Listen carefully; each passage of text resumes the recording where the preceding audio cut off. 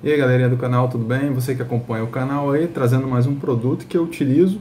Geralmente eu vou fazer vídeos do que eu utilizo, ou aquilo que eu pretendo comprar, ou que eu tenho uma boa referência. Esse é um que eu utilizo no trabalho, né? Além daquele outro tablet que tem um vídeo aí no canal, eu utilizo também esse Galaxy Tab A7 Lite. Ele tem 8.7 polegadas, é um tablet que eu uso muito para visita técnica, para fazer é, coletânea de fotos, medições, uso muito Excel nesse aparelho aí, tá?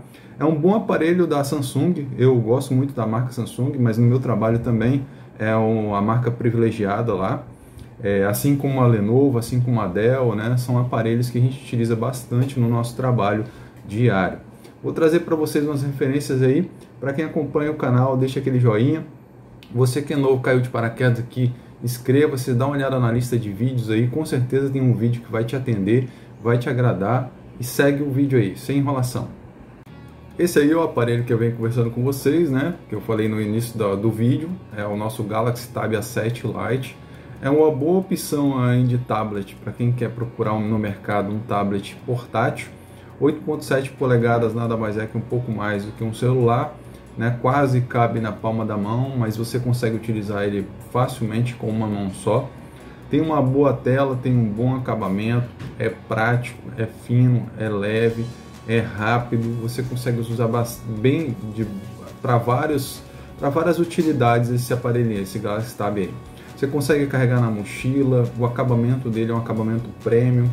As câmeras dele deixam um pouco a desejar, mas nada que para utilização de trabalho para uma utilização profissional você não consegue utilizar essa câmera aí, mas para trabalho ou para o lazer você consegue utilizar sim, ela tem uma boa resolução.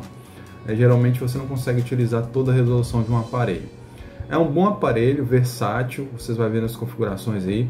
A bateria de 5 mAh, a bateria que dura bastante, esse tem 32 GB, 3 GB de memória. Você encontra ele aí no mercado nas versões 64 GB tá? com a memória expansiva também. Você consegue expandir essa memória.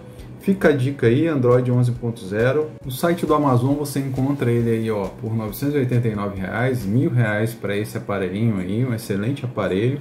Vale muito a pena para quem quiser.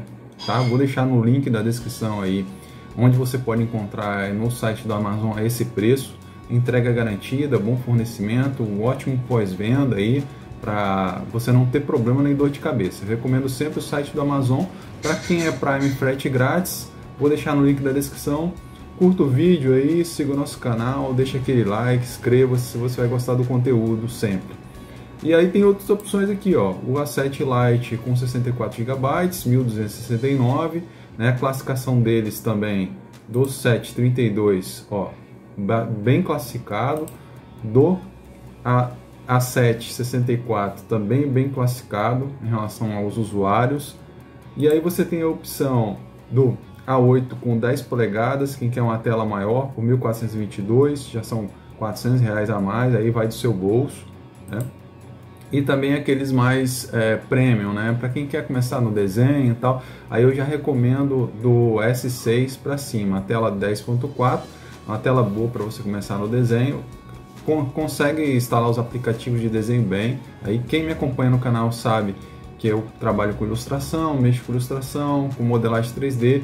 Para modelagem não dá, mas para ilustração alguns aplicativos você começa a trabalhar aqui nesse nesse tablet sem problema nenhum, tá? E os mais prêmios ainda, o S8. Então vou deixar para você aí essas especificações, esses links na descrição. Deixa a sua curtida, deixa aquele like, a gente vai gostar bastante aí, fortalece o nosso trabalho. Valeu, obrigado por ter ficado até o final aí, para quem ficou, tudo de bom.